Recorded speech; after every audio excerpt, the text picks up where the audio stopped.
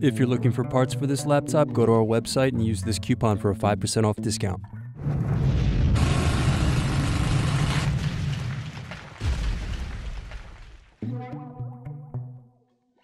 First unscrew, then use fingers to remove base cover.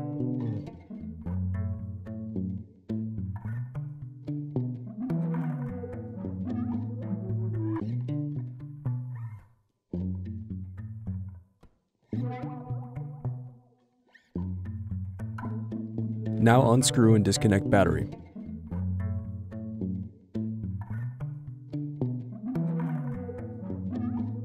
Then unscrew and remove SSD.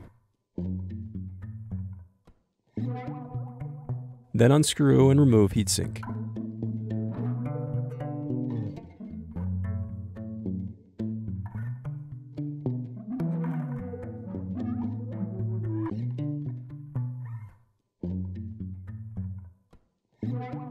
Next, unscrew and lift right hinge.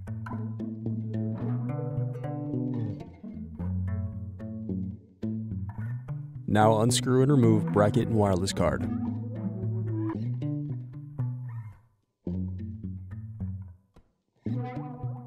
Then disconnect motherboard cables.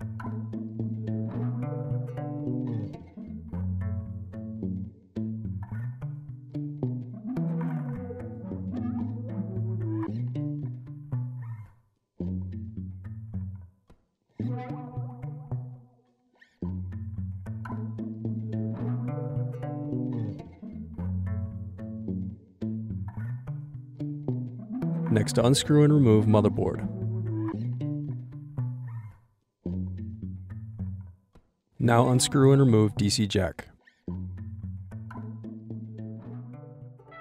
Thanks for watching. Don't forget to like and subscribe if you enjoyed this video. And if you need more, check out this playlist to watch other tutorials for your laptop. You can also click here to find parts for your laptop at partspeople.com.